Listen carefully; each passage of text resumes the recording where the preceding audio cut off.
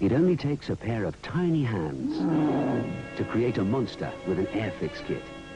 Slightly larger hands are needed to build a tank. And a feminine hand helps to recreate Anne Boleyn. An old hand enjoys putting the Golden Hind together. A very steady hand steers Concorde.